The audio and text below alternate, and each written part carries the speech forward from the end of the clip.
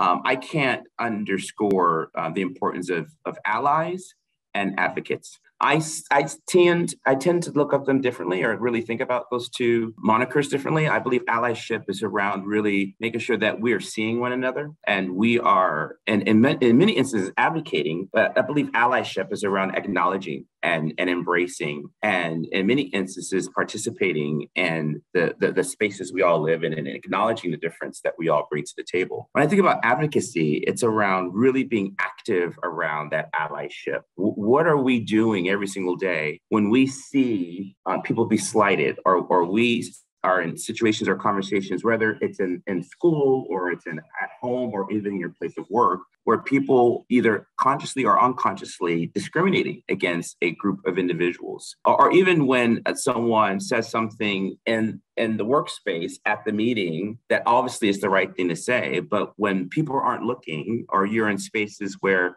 there's a one-on-one engagement, maybe this individual is saying things that are highly inappropriate and actually counterintuitive, kind of productive not only to your values and your principles, but the behaviors that you set there in your in your company.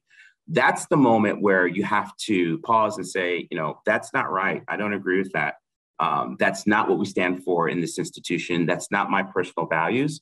And and I I'd like you to you know either you know course correct. Let's talk more about why that's not conducive to a to a to a high performing and an inclusive workspace but but having the courage to to to point that out and not to allow that behavior to continue i think that's when you start to really broach on this this advocacy and active advocacy